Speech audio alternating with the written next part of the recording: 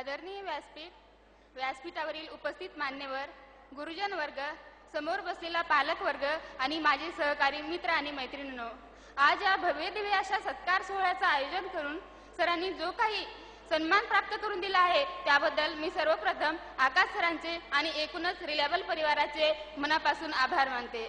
तसेच विद्येची देवता सरस्वती माता जिच्या प्रेरणेमुळे मी आज इथे उभी आहे त्या सावित्रीबाई फुले तसेच कुलस्वामिनी आई तुळजाभवानी हिंदवी स्वराज्याचे संस्थापक छत्रपती शिवाजी महाराज आणि घटनेचे शिल्पकार डॉक्टर बाबासाहेब आंबेडकर. या सर्वांच्या प्रतिमेला मी सर्वप्रथम अभिवादन करते आणि मी माझे दोन शब्द बोलण्यास सुरुवात करते. जर माझे कौटुंबिक पार्श्वभूमी पाहायचीच म्हटलं तर परभणी जिल्ह्यातील गंगाखेड तालुक्यातील नरळद या छोट्याशा खेडेगावातील एका सर्वसामान्य मध्यमवर्गीय शेतकरी कुटुंबातील मी कन्या. आम्ही चार आपत्ते आई वडील शेतकरी शेती करत करत त्या आम्ही आमच्या चारही भावंडांना शिकवलं आणि आज चारीपैकी तिघ जण आम्ही शासकीय सेवेमध्ये रुजू झालो आहोत. मोठा भाऊ जिल्हा परिषद शाळेवरती शिक्षक. माझ्यापेक्षा जो छोटा भाऊ आहे तो आर्मीमध्ये मेडिकल असिस्टंट म्हणून जॉईन आहे आणि आज माझी पी एस आय पदी निवड झाली आहे. माझ माझं एकूणच शिक्षण पाहायचं म्हटलं तर सर्व शिक्षण हे ग्रामीण भागातून झालेलं आहे. पहिली ते दहावी पर्यंत मी जिल्हा परिषद शाळेमध्ये शिकले. त्यानंतर महाविद्यालयीन शिक्षण पूर्ण करण्यासाठी गंगाखेड येथे गेले आणि माझं डीएड झालेलं आहे आणि डीएड सुद्धा मी महापुरी या छोट्याशा ग्रामीण भागातूनच पूर्ण केलं आहे. परंतु आई वडिलांना एक कुठेतरी आशेचा किरण दिसत होता की आपली मुलगी पुढे काहीतरी करू शकते. म्हणून त्यांनी कारण की मला दहावीला ऐंशी टक्के गुण घेऊन मी सेंटरमध्ये पहिले होते बारावीला चौऱ्याऐंशी टक्के होते तर डीएडला शहाऐंशी टक्के गुण घेऊन मी जिल्ह्यातून सर्वप्रथम होते. परंतु दोन हजार अकराला माझं डीएड कंप्लीट झालं आणि त्यानंतर सीईटी मात्र झाली नाही. एक दोन वर्ष मी घरी सीईटीची वाट पाहत बसले. त्यानंतर कुठेही एक सीईटीचा कोणताही लवलेज दिसत नव्हता. मग मग कुठेतरी आपण स्पर्धा परीक्षा द्यावी आणि आपल्या पायावर उभे राहावं एवढंच ध्येय निश्चित केलं आणि औरंगाबादला येण्याचा निर्णय घेतला. आई आईवडिलांनीही वडिलांनीही त्यासाठी मला सपोर्ट केला आणि मग माझी मैत्रीण सकू शिंदे आणि मी आम्ही दोघीही औरंगाबादला आलात. एक स्पर्धा परीक्षेचं इथं कुठे कुठे मार्गदर्शन केंद्र आहे हे काही माहिती नव्हतं. मग औरंगपुरामध्ये आलात. तिथे आल्यानंतर दोघींनी काही माहिती नसल्यामुळे एक मुलगी भेटली आणि तिला आम्ही विचारलं या इतर चांगले क्लासेस कुठे आहेत? तेव्हा तिनं आम्हाला रिलेबलचं नाव सुचवलं. कदाचित ती रिलेबलचीच असावी. मग आम्ही रिलेबलमध्ये गेलो आणि सरांशी आमची भेटही झाली. सरांनी दहा पंधरा मिनिटं आमच्याशी संवाद साधला आणि आमच्या दोघीचे मार्क्स विचारले आणि आम्हाला फाउंडेशनची बॅच जॉईन करण्याचा सल्लाही दिला. नंतर आम्ही दोघींनी क्लासेस जॉईन केले आणि क्लासेस जॉईन केल्यानंतर सरांनी मार्गदर्शन करत गेले आणि आम्ही मीही अभ्यास करत गेले. एकूणच वेळोवेळी सरांनी मार्गदर्शन केलं आणि मी माझ्या अभ्यासामध्ये सातत्य ठेवलं. जून दोन हजार तेरामध्ये माझं ग्रॅज्युएशन कंप्लीट झालं आणि ऑगस्ट दोन हजार तेरामध्ये माझी पी एस आयची प्रिलिम एक्झाम होती. ती एक्झाम दिली आणि नोव्हेंबरमध्ये रिझल्ट आला आणि मी मेन्ससाठी क्वालिफाय झाले. क्वालिफाय झाले परंतु तिथून फक्त अठ्ठावीस दिवस मेन्ससाठी होते. मग आठ आठ डिसेंबरला मे पी एस आय मेन्सची एक्झाम आणि पंधरा डिसेंबरला टीईटी माझं डीएड झालं असल्यामुळे घरच्यांची इच्छा होती की मी टीईटी द्यावं. परंतु इकडं मेन्सचा प्रीचा सुद्धा रिझल्ट आलेला होता. मग माझी अशी द्विधा अवस्था झाली. तेव्हा मी सरांकडे गेले आणि सरांना सर्व सांगितले. तेव्हा सरांनी मला पी एस आय मेन्सची तयारी करण्याचा सल्ला दिला आणि एकूण सरांनी सर्व पुस्तकांची यादी करून दिली प्लॅनिंग करून दिलं अठ्ठावीस दिवसाचं. आणि अठ्ठावीस दिवसांचं मी पूर्ण प्लॅनिंग ते सरांनी जसं सांगितलं त्यानुसार अभ्यास केला आणि मेन्सलाही खूप चांगल्या स्कोअरनी मी पास झाले. परंतु खरा संघर्ष होता तो ग्राउंडचा कारण ग्राउंडची डेट ही सतत लांबत राहत होती. मध्येच लोकसभेच्या निवडणुका विधानसभेच्या निवडणुका आयोगाच्या अध्यक्षाची नियुक्ती अशा वेगवेगळ्या कारणामुळे सतत ही ग्राउंडची डेट लांबली. आणि तब्बल आम्हाला एक वर्षाचा कालावधी ग्राउंडसाठी भेटला. परंतु या ग्राउंड ग्राउंड सुरू असतानाही मी अभ्यासामध्ये थोडस सातत्य माझं ठेवतच गेले. आणि त्यामध्ये मी क्लास थ्रीच्या तीन एक्झामवर एक्झाममध्ये वेटिंग वरती होते. जेव्हा मी पहिल्या लातूरच्या तलाठीमध्ये मी वेटिंग वरती होते तेव्हा मला एक आनंद झाला की आहेत आपण यशाच्या खूप जवळ आहेत. परंतु जेव्हा दुसऱ्या दोन तीन नंबरची जेव्हा वेटिंग लागली तेव्हा म्हटलं तेव्हा मात्र वाटलं की आता आपल्या नशिबी काय वेटिंगच आहे का की? खूप खच्चीकरण होत गेलं परंतु मला तेव्हा माझा खरं सपोर्ट केला तर माझ्यापेक्षा जो छोटा भाऊ आहे त्यांनी. आणि मला सतत तो मोटिवेट करत गेला. आणि मी अभ्यास करत गेले. एकदाचीच ग्राउंडची डेट आली.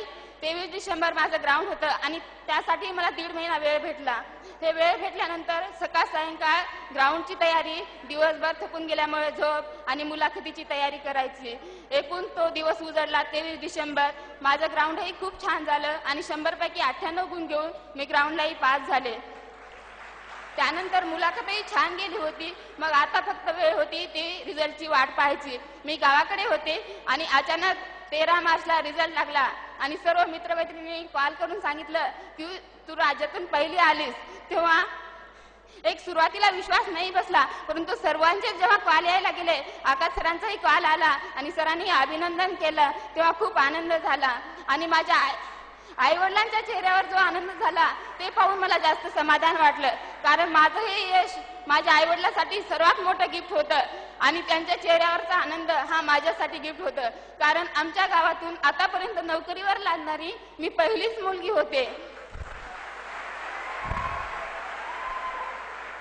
जेव्हा मला आई वडिलांनी इथं या संस्थेमध्ये दाखल करण्यासाठी ठेवलं तेव्हा बऱ्याच जणांचा विरोधही होता. मुलगी आहे कशाला ठेवायचं? परंतु या सर्व विरोधाला माझ्या आई वडिलांनी सामोरे गेले आणि माझ्यावर एक विश्वास दाखवला. तो आज मी साध्य केला याचं मला समाधान वाटतं.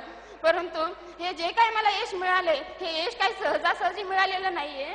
किंवा यासाठी खूप काही प्रयत्न करावे लागलेत. खूप काय असं आता परिश्रम करावे लागलेत यातलाही प्रश्न नाही.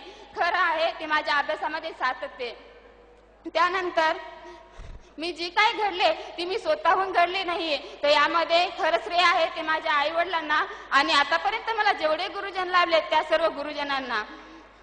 म्हणतात ना की पतंग स्वतः कशी उडत नाही त्याला उडवणारं कोणीतरी असतं. आणि माणूस स्वतः घडत नाही त्यालाही घडवणारं कोणीतरी असतं. आज माझं घडवणारे आहेत ते माझे आई वडील आणि सर्व गुरुजन वर्ग.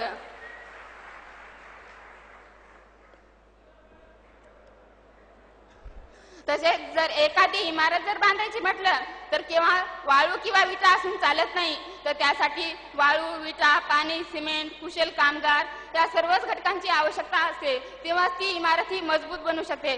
तशीच आज जी काही माझ्या यशाची इमारत उभी आहे त्यामध्ये केवळ माझे फक्त एकटीचे प्रयत्नच महत्त्वाचे नाहीयेत.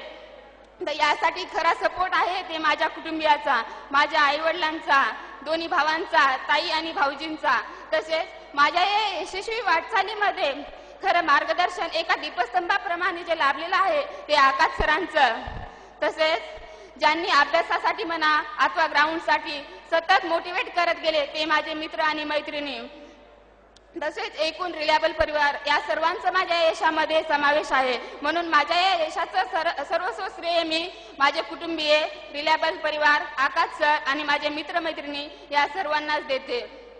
आणि सर्व विद्यार्थ्यांना एवढं सांगू इच्छिते की तुम्ही जोपर्यंत तुम्हाला यश मिळत नाही तोपर्यंत त्या यशाचा पाठलाग करा. म्हणतात ना की जब तक ना हो सफल नींद चैन को त्यागो तुम. संघर्ष का मैदान छोड़कर मत भागो तुम. कुछ के बिना ही जय जयकार नहीं होती. कोशिश करने वालों की कभी हार नहीं होती कभी हार नहीं होती. म्हणून तुम्ही प्र- सर्वप्रथम तुमचं ध्येय निश्चित करा. कारण जर तुम्ही तुमचं ध्येय निश्चित केलं तर त्यासाठी तुम्हाला योग्य दिशा आणि मार्गदर्शनाची खूप गरज आहे. ते तुम्ही योग्य दिशा आणि मार्गदर्शन मिळवा. त्यामुळे तुम्हाला दोन वर्षाचे यश मिळणार आहे. ते कदाचित एका वर्षाने अगोदरही मिळू शकेल. आणि तुमच्या पालकांसहित अशीच तुम्हाला सुद्धा सत्कार करण्याची संधी मिळो अशी मी प्रार्थना करते. आणि तुम्ही अभ्यासामध्ये सातत्य ठेवा. एखादी वेळेस सर्व प्लॅनिंग करून अभ्यास करा. आणि वर्षभर आपण काय केलं अभ्यास? यापेक्षाही त्या एका तासामध्ये परीक्षेमध्ये आपण किती उतरवलंय हे खूप महत्वाचं आहे. त्यामुळे तुम्ही परीक्षेमध्ये खूप छान प्लॅनिंग करून पेपर सोडवा. काही वेळेला माझ्याकडून पण ह्या चुका झाल्या त्या तुमच्याकडून होऊ नये. मी अशी अपेक्षाही करते. तसेच तुम्ही तुमच्या या भविष्यातील यशस्वी वाटचालीसाठी आणि पुढील परीक्षासाठी माझ्याकडून मी शुभेच्छाही देते. आणि जाता जाता मला एवढंच सांगावंसं वाटतं की शिकरे उत्कर्षाची सर तुम्ही करावी. वळून पाहता आमची शुभेच्छा स्मरावी. तुमच्या इच्छा आकांक्षाचा वेलू गगनाला भिडू दे आणि सर्व काही तुमच्या जीवनात मनासारखे घडू दे. तसेच आकाश सरांनी आज एवढा मोठा भव्य दिव्य अशा सत्कार सोहळ्याचं आयोजन करून आमचा सत्कार आमच्यापेक्षा आमचा सत्कार हा एक दोन गोष्ट आहे परंतु आमच्यापेक्षाही आमच्या पालकांचा सत्कार हा आज आमच्यासाठी खूप आनंदाचा क्षण आहे. तसेच संयोजकाने मला इथे दोन शब्द बोलण्याची संधी दिली. आकाश सरांनी एवढा सन्मान प्राप्त करून दिला. त्याबद्दल मी सर्वांचे आभार मानते आणि माझे दोन शब्द संपवते. धन्यवाद. जय हिंद. जय महाराष्ट्र.